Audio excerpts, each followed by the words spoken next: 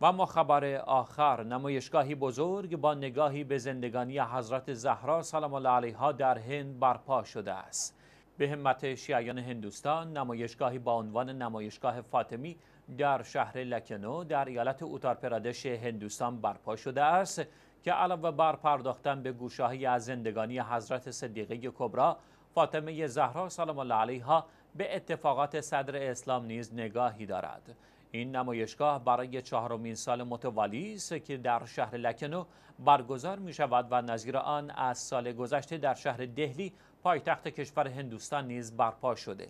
حجت الاسلام سید محمد ابوالفضل آبدی از دستن در کاران برپای این نمایشگاه هدف از برپای آن را آشنایی هرچه بیشتر اخشار مختلف جامعه با زندگانی حضرت صدیقه کبرا سلام الله علیها اعلام کرد. وی با اشاره به اینکه بسیاری از غیر مسلمانان نیز از این نمایشگاه دیدن می کنند افزود این نمایشگاه می تواند غیر مسلمانان را با اتفاقاتی که در صدر اسلام رخ داده آشنا کند تا آنها بتوانند تفاوت حق و باطل را تشخیص دهند و اسلام حقیقی را درک کنند. حجت اسلام آبدی افزود این نمایشگاه به روش انفاگرافی و حجم سازی از نظر مذهبی خانوادگی اقتصادی و سیاسی به زندگانی حضرت زهرا سلام الله علیها پرداخته است. به گفته او این نمایشگاه با به تصویر کشیدن جریاناتی از صدر اسلام به هر بازدید کننده منصفی ثابت می کند که جانشین بلافاصله رسول خدا صلی الله علیه و آله حضرت امیرالمؤمنین علی علیه السلام بوده است.